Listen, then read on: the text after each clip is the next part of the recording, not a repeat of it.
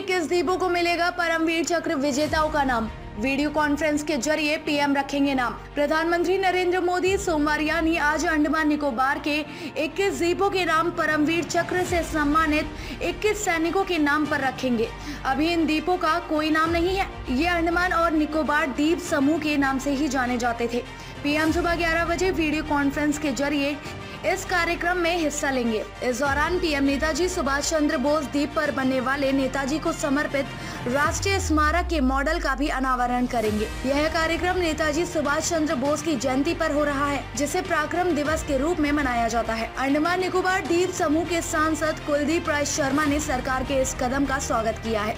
उन्होंने कहा की मुझे खुशी है की सरकार ने हमारे वीर सैनिकों के सम्मान में अंडमान और निकोबार के 21 द्वीपों का नामकरण उनके नाम पर करने का फैसला लिया है। कुलदीप ने सरकार से अपील की है कि इस बारे में स्कूल के बच्चों के लिए एक किताब भी प्रकाशित करें, जिससे बच्चे भी अपने देश के जवानों के बलिदान के बारे में जान सके। उधर केंद्रीय गृह मंत्री अमित शाह सोमवार सुबह दो दिन के दौरे आरोप अंडमान निकोबार पहुँचे हैं। वह यहाँ नेताजी सुभाष चंद्र बोस की 126वीं जयंती के समारोह में भाग लेंगे। 218 में पीएम अंडमान निकोबार द्वीप समूह की यात्रा पर थे। तब उन्होंने रॉस द्वीप के नाम बदलकर नेताजी सुभाष चंद्र बोस द्वीप रख दिया गया था। इसके साथ ही नील द्वीप और हैवलॉक द्वीप के नाम बदलकर शहीद द्वीप और स्वराज द्वीप कर दिया गया था।